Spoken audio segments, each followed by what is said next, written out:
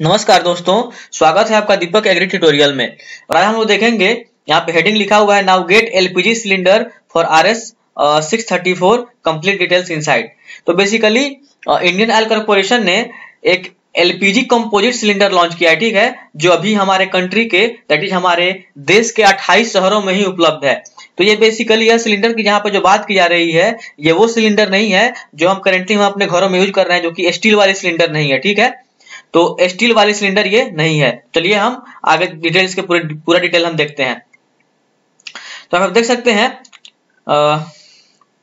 Indian oil corporation has launched a new type of LPG cylinder for the customers कहने का मतलब है Indian oil corporation ने basically एक नए तरह के एलपीजी सिलेंडर को लॉन्च किया कस्टमर के लिए, अपने ग्राहकों के लिए and it is called composite cylinder और इसको उन्होंने कंपोजिट सिलेंडर कहा है। That is LPG composite cylinder इन्होंने कहा है, ठीक है?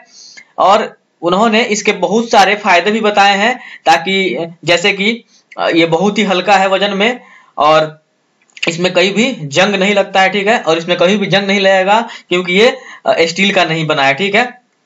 तब आप देख, यहाँ पे इंडियन ऑयल कॉर्पोरेशन ने बताया है कि यह एलपीजी जो कि कंपोजिट सिलेंडर है, ठीक है? इसमें बेसिकली टेन के ही गैस रहेंगे, जिसके लिए आपको छह सौ तैतीस रुपये पचास पैसा ही पे करना पड़ेगा, ठीक है? तो चलिए बेसिकली हम देख लेते हैं कि आखिर ये एलपीजी कंपोजिट सिलेंडर बना किस चीज़ से है ठीक है? तो ये एलपीजी सिलेंडर बेसिकली तीन लेयर से मिलकर बना है, ठीक है? और जिसमें आप देख सकते हैं, इनमें एक लेयर क्या है? हाई डेंसिटी पॉलिथीन का लेयर है दैट इज़ एच का लेयर है। और यह इनर लेयर जो है, वो बेसिकली फाइबर क्लास से कोटेड है, ठीक है? जो कि पोलिमर से बने हैं, ठीक है?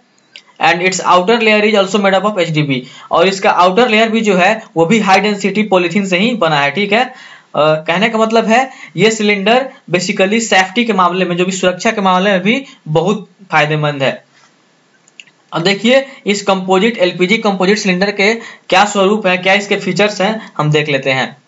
अब देखिए बेसिकली सिलेंडर का वज़न कितना है? पाँच के जी और दस के जी कहने का मतलब ये दो वज़न में आ रहा है, एक पाँच के जी में और एक दस के जी में। और यह सिलेंडर पूरी तरह से ट्रांसपेरेंट है दैट इज़ पारदर्शी है। कहने का मतलब है, हम बाहर से ही देख सकते हैं कि उसमें कितना गैस बचा है, ठीक है?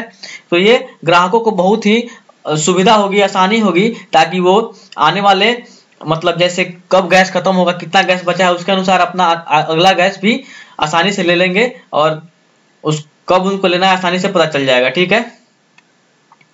The composite Indian cylinder does not rust and most importantly it does not get damage it not damage making it safe और यहाँ पे बता रहा है कि ये कंपोजिट सिलेंडर जो है इंडियन का जो कंपोजिट सिलेंडर है, ये बेसिकली इसमें जंग नहीं लगता है, क्योंकि ये स्टील का नहीं है।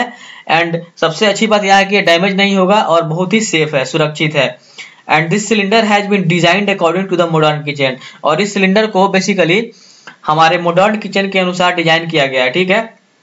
तो चलिए हम आगे देखते हैं कि बेसिकली ये कंपोजिट सिलेंडर कहने का मतलब है, ये एलपीजी कंपोजिट सिलेंडर आखिर हमारे देश के किन किन शहरों में अवेलेबल है?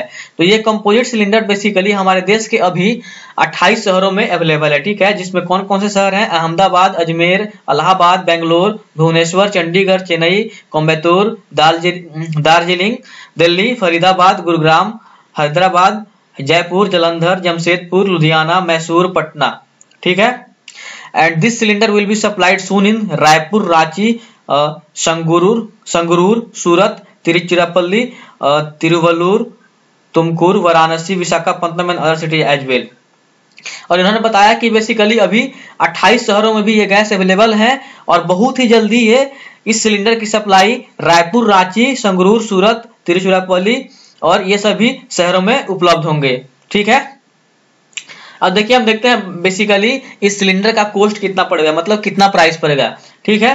अब देखिए to get the composite cylinder security deposit the gas agency देखिए बेसिकली इस कंपोजिट सिलेंडर को लेने के लिए हमें गैस एजेंसी गैस तो इस कंपोजिट सिलेंडर को लेने के लिए हमें बेसिकली एक सिक्योरिटी डिपॉजिट करना पड़ेगा गैस एजेंसी को। ठीक है?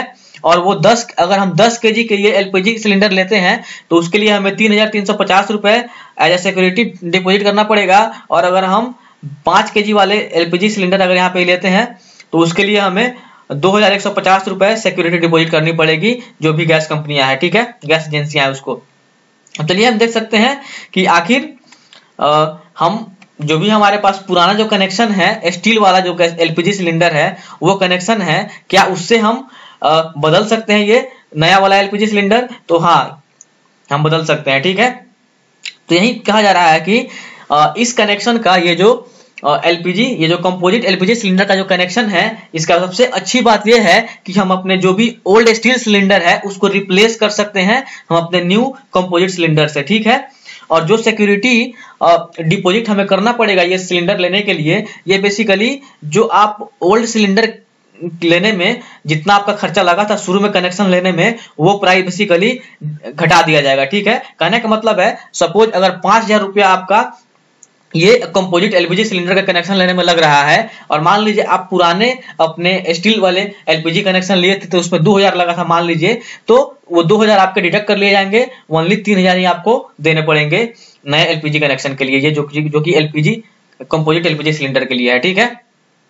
तो आज हमने बेसिकली देखा कि इंडियन ऑयल कॉर्पोरेशन एक बहुत ही सुटेबल या कहें कि मॉडर्न किचन के लिए बहुत ही सुटेबल या सेफ्टी के अनुसार भी बहुत ही सुटेबल सिलेंडर लेकर आया तब तक के लिए धन्यवाद।